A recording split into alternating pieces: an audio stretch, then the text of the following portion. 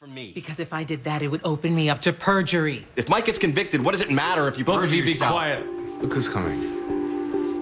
Look who it is. The Three Musketeers. And we happen to be in the middle of a meeting. That's okay. I just dropped by to let you know it looks like the trial's been moved up till tomorrow. What the hell did you do?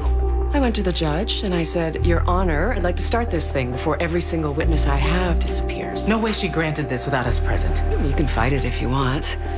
We'll wait for Miss Zaz to finish her trip. Oh, Mr. Litt seems upset about that. Looks like the wedge I'm driving between you is starting to work.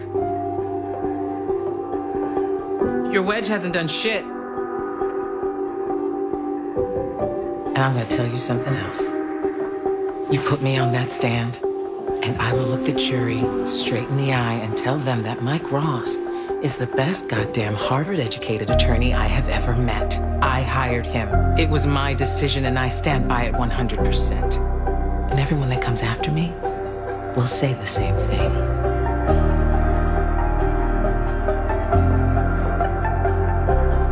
Think she bought that? I don't care if she bought it or not. I wasn't bluffing. And you and Mike better figure out what the hell you're going to do because the trial starts tomorrow.